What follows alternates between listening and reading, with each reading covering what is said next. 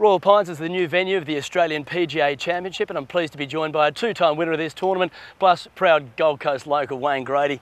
Grade's uh, a move of the tournament away from Coolum here to the Gold Coast. How do you think Royal Pines will stack up this week? Uh, it'd be fantastic. I've, uh, there's a buzz around here that I haven't seen for a long time. I was speaking to the staff earlier and they've seen many event here at Royal Pines and they're really impressed with what's been going on. Uh, we've got Adam Scott back and that's uh, one of the big reasons. I was going to say that the green jacket on home soil for the first time. Just how electric is that? Yeah, well, most well, 99% of these people are, will never have been to Augusta and they've uh, never witnessed or seen the, the green jacket. So uh, Scotty's going to have it out, sign a few autographs in it, so it, it will be fantastic big, big week we'll build as uh, the big four was Adam Scott, Brandt Snedeker, Mark Leishman with the fist pump moment, and Rickie Fowler. We know Brandt Snedeker is now out with a knee injury suffered in China, which is a big blow. But the other three, are they going to battle it out? Uh, absolutely. I mean, their forms. Uh, Fowler's had mixed form all year, but he's a fantastic and exciting young player. Leash is, uh, I'm waiting for him to come out and to win something uh, quite large. And Scotty, well, Scotty's number two in the world if he plays to his potential, then he, he should, uh, he'll be hard to beat. I want to ask that question. He's won both the Australian Open and the Australian Masters. He won that last year.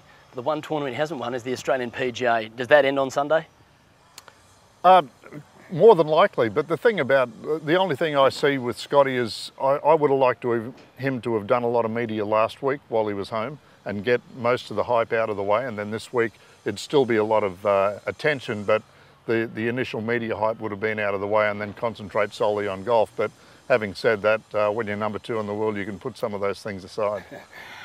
I asked Adam last week when he first came back, we're going to see Australia's first ever 59 around Royal Pines. There was plenty of talk he'd play soft, but that doesn't seem to be the case. What's your opinion? Well, we've got it firm, which we need, because uh, if it gets wet, if we get some rain, then the guys are going to tear it up, because it's not a difficult course by any means. Uh, but as long as the fairways are firm and the ball rolls into the rough and the greens are a little bit firm, so it's harder to keep the ball on the green, that'll protect it. But if we get rain, there's not there's only a slight chance of rain predicted through the week. If we get any heavy rain, then they will the scores will go down. Big flat greens.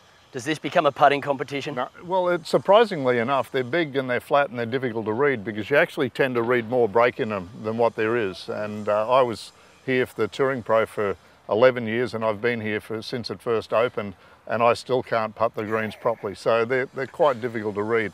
Right, so does that mean it's not necessarily favour the, the great putters, favour a good ball striker, someone who's going to have a good tee to green week? Well, it, it will, but if, the so, if they're soft, then everyone plays darts. So then you're going to have, you know, if you're going to have a, a multitude of 10 to 15 foot putts, you're going to make quite a few of those. But if it's firm, it's going to be harder to get the ball nearer the hole. And firm golf courses is always about the guy that hits it, can control where he lands the ball better. There aren't too many of Australia's top players here outside of Adam Scott, Mark Leishman and a handful of others. Peter Senior's just come back from a great result on the Champions Tour. Does it feel a little bit less than a normal PGA Championship because of that, or does Scotty's presence change everything? I don't think anyone's noticed. Uh, it's a shame that they're not here, and they're here for uh, different reasons. The uh, 2014 US Tour season has already started, which is the first time that's happened. And they've got other tournaments around the world that they're playing and In Japan, there's some big ones in Japan. So we've always had that sort of problem, but uh, I think Scotty will make up for it all. So on Sunday night, I know you like to have a little bit of a better. We're going to have some money on Scotty. We're going to go for a bit of a roughie. Well, you'd be mad if you don't. I don't think you'll get the same uh, odds as Fiorente yesterday, but uh, I think uh, Scotty's favourite, but be very short priced. Well, if you got up on Fiorente yesterday, go all up into Adam Scott this week at the Australian PGA. It's set to be a great week here at Royal Pines. Make sure you tune into Network 10 for all the action.